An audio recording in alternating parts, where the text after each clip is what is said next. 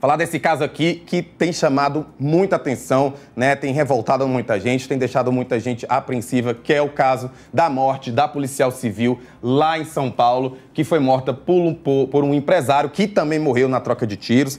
É, você deve lembrar, obviamente, como eu disse, dessa história, né? Ela foi morta pelo empresário Rogério Saladino, nos Jardins, que é um, bairro, um dos bairros mais nobres de São Paulo, né? A Milene Bargalho Estevam, ela foi morta no último sábado. E hoje o delegado, né? O, o delegado geral de São Paulo, essa matéria do William Cardoso, essa matéria hoje feita pelo William Cardoso, lá da nossa equipe de São Paulo, diz que o delegado geral de São Paulo, Arthur Dian, defende aí que a família da policial receba indenização, a família dela receba indenização por conta desse caso, por conta dessa morte dela, nesse caso horrível que a gente está acompanhando bem desde o último sábado.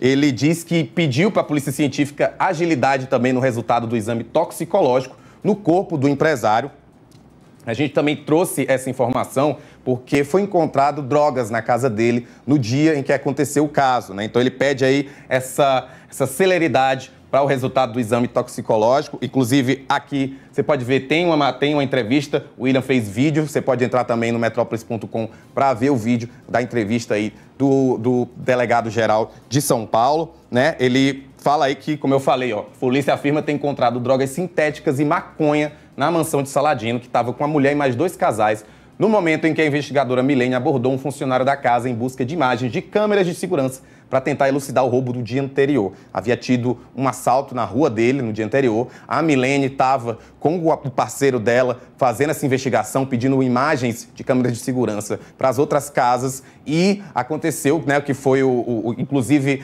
é, o, é uma versão dada pela família do empresário, né, de que houve aí uma legítima defesa. Ele achou que a casa estava sendo assaltada, né, por conta da, do receio do que já tinha acontecido anteriormente. Né? Aqui é, ela, inclusive, a gente mostrou isso ontem, que a família divulgou uma nota, né, falando que a Secretaria de Segurança Pública deveria rever seus controles ao falar da abordagem dos policiais no momento em que pediram as imagens das câmeras de segurança.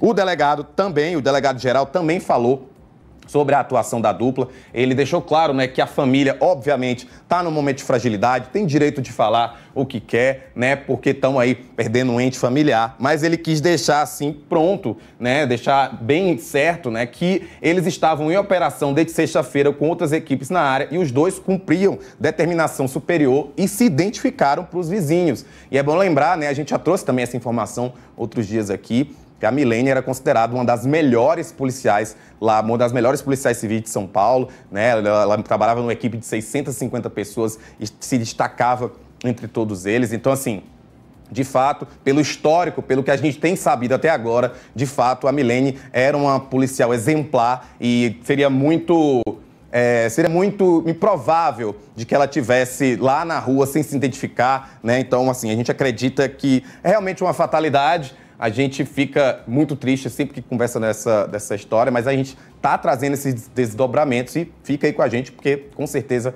vamos ter mais notícias sobre essa situação.